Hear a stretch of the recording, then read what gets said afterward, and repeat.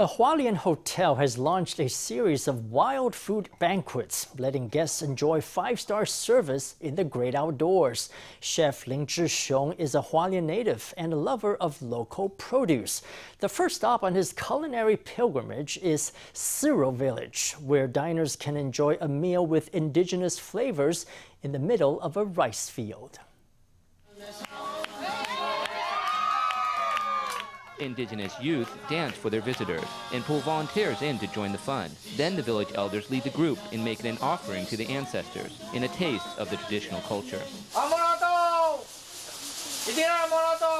In the multicultural village of Ceroh in Yuli Township, Hualien, indigenous people live alongside neighbors who are Minnanese, Hakka, or more recent immigrants from China. The cultural atmosphere here, the fusion of ethnicities. It's 50% indigenous, 30% Hakka, and 20% Minnanese. Locally grown rice, arrowroot, and kingtol are not to be missed. This chef from a Hualien restaurant is also a native of the county. The village is where he starts off his culinary pilgrimage, using local ingredients to produce this five-star wild garden banquet. Guests dine in the paddy fields, enjoying haute cuisine grown where they sit.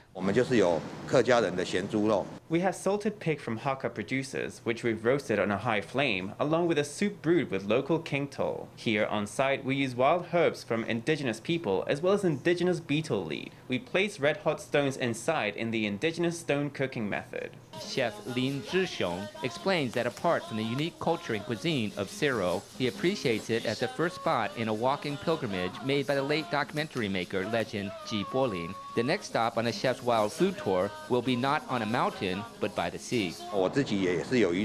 I have a fishing boat myself. We've talked with a local fishing boat captain in Hualien to see if we can bring our guests on the water. It might be catching fish or spanner crabs to enjoy the Pacific Ocean we have in Hualien. Hualien's natural wonders are astonishing, and for foodies, there's just as much to enjoy as any nature lover. A wild banquet is one way to indulge in both at the same time.